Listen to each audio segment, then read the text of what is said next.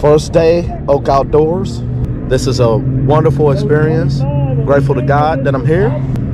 You hear him? It's time, baby. Let's get it. Mr. Matt Ells, fishing out of the Nitro. Boat 82, the lead angler, Jeff Smith, fishing out of the Bass Cat. Good luck there, Jeff. Boat 83, the lead angler, Mr. Michael Hamilton. Coming up through here, Mr. Pro's Choice, fishing out of the Nitro. Go get them all, man. Thank you. Happy birthday, Dad, if you're watching. Happy birthday. Happy birthday there. Thank you.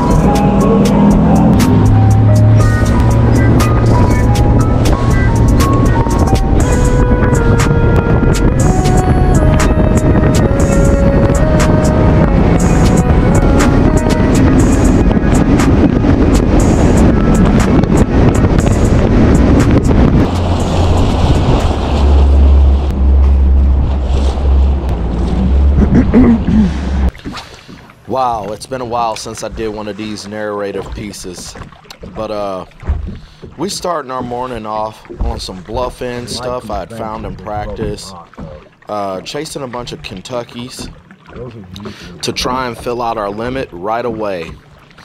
I don't never really look at them as winning a tournament, but I will say this you can if you get on the right three pound average. For me, during this tournament, they were to get my confidence up and then go chase largemouth if I could find them.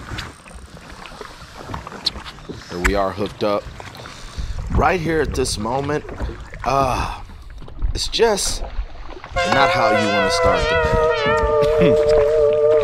that was painful to watch. Uh, but I know if I shake it off, I'm around a lot of fish. That was a nice one though. You know, would think but with that gaff, that's just part of the game. As I was saying wouldn't there, you would think with the gaff on the hook that I was throwing, I'll never understand. that that would not happen. Hooked up again, instant. from there. And there's no better feeling than when you pull up in a tournament, your first area. I knew there was a lot of fish on every bluff, Stay bluff end, channel swing. They typically do that this time of year. And I was kind of second guessing myself because I didn't think that was. I don't think he's keeper, a keeper, but he wound up being our first keeper. Sure. Get it, Connie. Going right back down that Like bluff can end, absolutely be a ball fishing, times, throwing a little 2.8 It Keitech. It can be so doggone fun. As long as I'm catching fish, I don't care.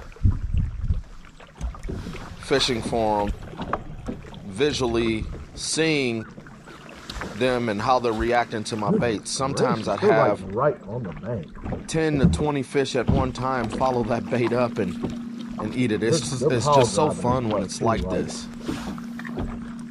They're like right up there. I literally probably cut out probably about 10 shorts that I didn't show on this stretch. That looks like a good one.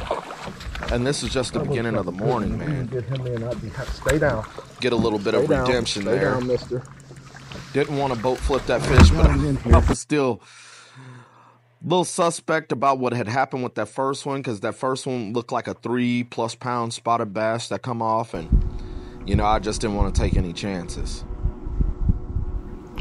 So what I'm starting to notice about Table Rock after we made this little move, can't believe I went down. and this is something that you should apply to your tournament fishing, is that these spots tend to school up and like size. There we go. Here, I haven't had a bite.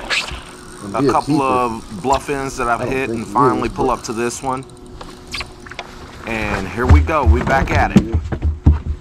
It was like we were finding these wolf packs of spotted bass.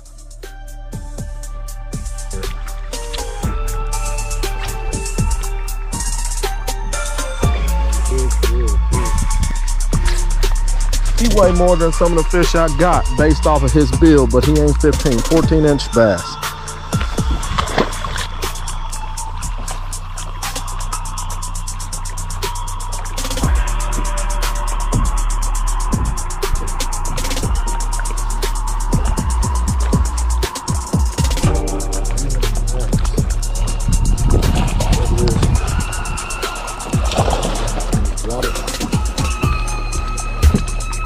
Yeah. Number four.